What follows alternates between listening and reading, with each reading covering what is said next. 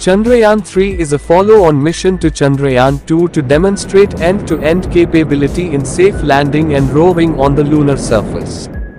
It consists of lander and rover configuration.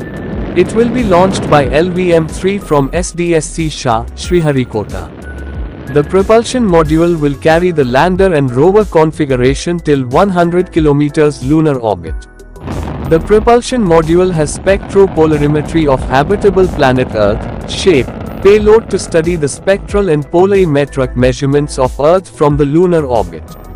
The launcher identified for Chandrayaan-3 is GSLV-Mk3 which will place the integrated module in an elliptic parking orbit, EPO, of size approximately 170 by 36,500 kilometers. The mission objectives of Chandrayaan-3 are to demonstrate safe and soft landing on lunar surface to demonstrate rover roving on the moon and to conduct in situ scientific experiments.